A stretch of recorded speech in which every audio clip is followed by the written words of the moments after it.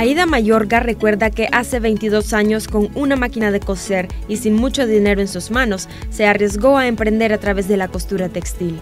El haber estudiado derecho y dejar a un lado su carrera para dedicarse por completo al diseño de ropa, sin duda alguna fue un sacrificio que trajo su recompensa. A la edad de 20 años, eh, mi esposo y yo se nos ocurre casarnos y la verdad que estábamos bien jóvenes y siempre nos preguntamos de qué vamos a vivir.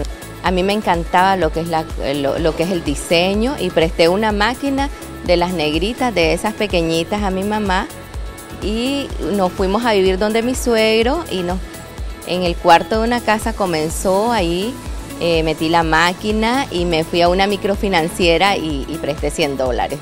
Aunque echar a andar una idea de negocio es muy difícil, Aida asegura que es aún más costoso mantener un emprendimiento durante muchos años. El camino para esta mujer no ha sido tan fácil, pero gracias a su esfuerzo ha logrado alcanzar cada uno de sus objetivos.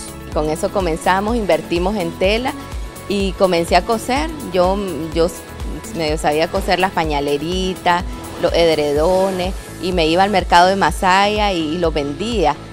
Luego me metería al mercado más grande de Centroamérica, el mercado oriental, y gustaban mucho las prendas. Entonces comencé eh, por decir ¿qué, puedo hacer y busqué a otra persona y, nos apoyaba en cuanto a las costuras, yo iba a vender y así comenzó con una máquina pequeña, con una persona que nos apoyaba y así fuimos creciendo.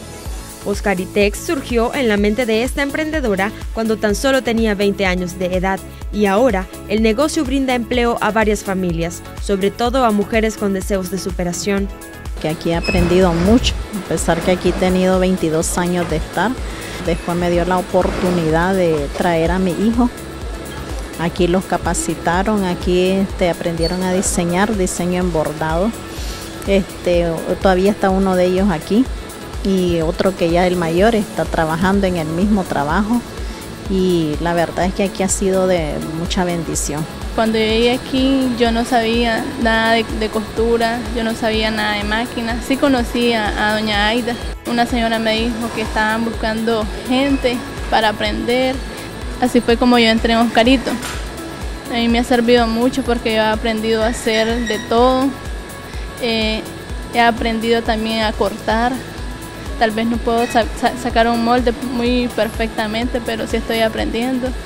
Este, ha sido como una escuela de enseñanza para mí.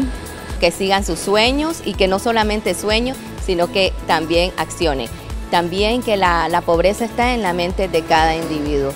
Yo quiero decirle algo, eh, cada vez me levanto con un sueño, con un sueño por el cual tengo que accionar Aida Mayorga es un ejemplo vivo de que los sueños se pueden alcanzar siempre y cuando la base principal de estos sea la dedicación, la pasión y el esfuerzo. El trabajo arduo, sin duda alguna, trae consigo recompensas. Elizabeth Reyes, Voz TV.